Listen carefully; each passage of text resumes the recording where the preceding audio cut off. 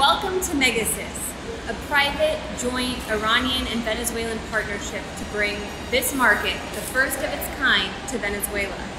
Next year, there's a plan to build five more of these supermarkets across the country. It's caught the attention of U.S. officials, with Acting Assistant Secretary of State Michael Kozak accusing Caracas and Tehran of playing games in their efforts to bolster economic ties. Meanwhile, the Wall Street Journal has cited dubious sources in order to tie Megasis to Iran's Islamic Revolutionary Guard Corps, which the Trump administration has listed as a terrorist organization. We came here to find out what's really inside.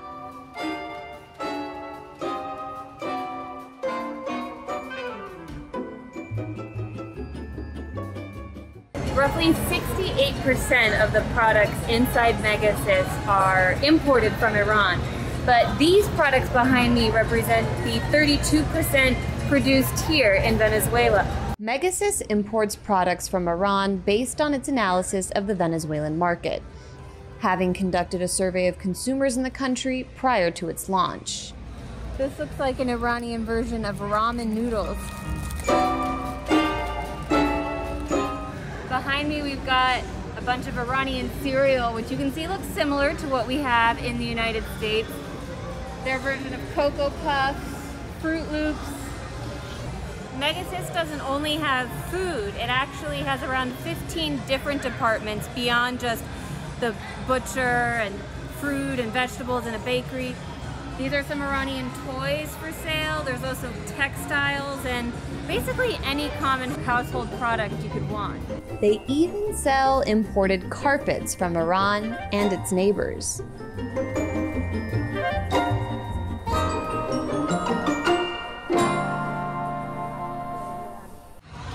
This section is a perfect representation of the collaboration between Iran and Venezuela on this supermarket. Right here we've got some Venezuelan made diapers and here an Iranian made.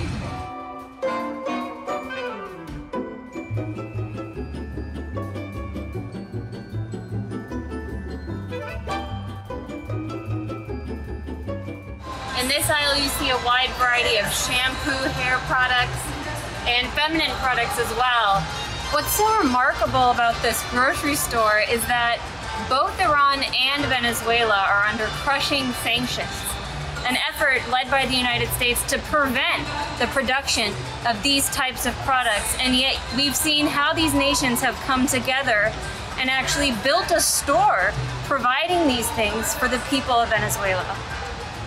Iran's opening of Megasis and its plans to expand in Venezuela sends a message to Washington that both countries are finding ways to circumvent the impact of U.S. unilateral coercive measures, or sanctions, levied against both of their populations. A recent article in the Wall Street Journal laments the fact that, quote, Iranian companies are increasingly producing the sorts of goods that Iran had previously imported from abroad, and that Iran's non oil industry gross revenues have grown 83% in recent years. Megasis is just one example of the kind of resiliency that has enabled both countries to withstand crushing U.S. sanctions. Throughout 2019, Iran repeatedly broke a U.S. blockade of Venezuela, delivering over 1.5 million barrels of light crude to the country in exchange for gold. The oil shipments were needed in order to combat a fuel shortage spurred by U.S. sanction policy. Venezuelan Foreign Minister Jorge Arreaza tells me the average citizen in his country can feel the benefits cooperation between Caracas and Tehran have brought. I believe that because Iran has suffered sanctions, they have a lot to teach us. And we have learned. And when they saw that we were going over the same pain that they did, uh, that they have been for so many decades, they opened their arms. Just as President Chavez did 14 or 15 years ago, we sent crude uh, uh, to, to Iran as well. So we are working in many different areas.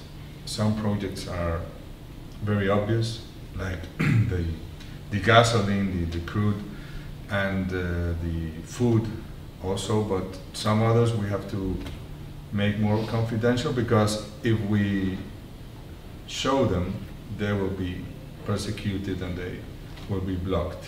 So, but I must say that people are feeling it when, when you go to your with with your car to a gas station. It's really probable that that gasoline comes from Iran, and uh, many of the products, some of the products of the CLAP boxes also come from Iran.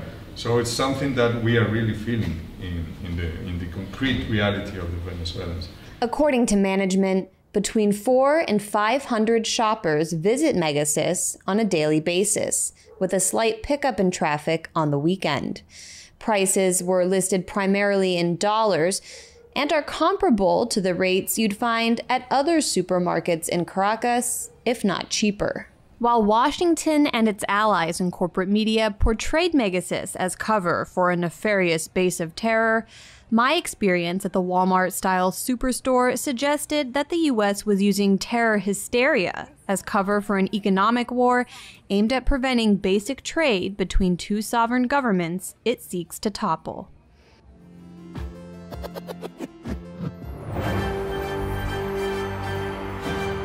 The following is a CNN CIA news alert with U.S. regime stenographer Dick Paton Walsh.